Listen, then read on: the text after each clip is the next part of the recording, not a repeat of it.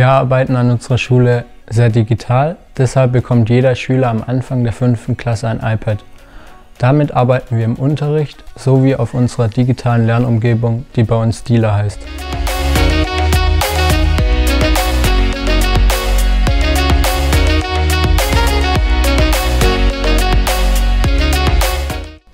Dies ist nun unsere digitale Lernumgebung. Man loggt sich mit einem Benutzername und Passwort ein. Dies kann man auch über einen Fingerabdruck tun, damit es etwas einfacher wird. Jetzt sehen wir hier unsere Übersicht, wo, wo man die ganzen Fächer sieht. Und ich zeige euch jetzt Mathematik. Hier sieht man drei Niveaustufen. Einmal das grundlegende Niveau, mittleres Niveau und erweitertes Niveau. Grundlegendes Niveau ist auf dem Hauptschul- Stand, mittleres Niveau auf dem Realschulstand und erweitertes Niveau auf dem Gymnasiumstand. Hier sieht man einen grünen Balken, das bedeutet, dass man den Test bestanden hat.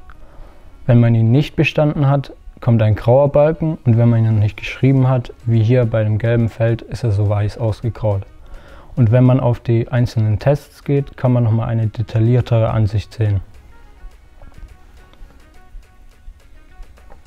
Hier sieht man nochmal die detailliertere Ansicht, wann man es geschrieben hat und wann es bewertet wurde. Und hier auch nochmal die Note. Was noch besonders ist, wir haben hier einen Kalender. Hier sieht man genau, wann Tests geschrieben werden und kann dadurch keine Tests mehr verpassen. Wir haben noch eine Besonderheit, das ist bei uns Talkie. Hier kann man mit einem Lehrer oder auch einem anderen Schüler über Videoanruf sowie Sprachanruf oder auch Schreiben kommunizieren, wenn man irgendwelche Fragen hat. Hallo Frau Hase, was finden Sie denn vorteilhaft am Dealer Talkie? Hallo Lasse, grüß dich. Ja, der Vorteil ist, dass man direkt miteinander sprechen kann, dass nicht der ganze Kontakt über Mails laufen muss und man kann noch zusätzliche Lernpartner dazuschalten, sodass man in Kleingruppen kommunizieren kann. Danke Ihnen. Bitteschön.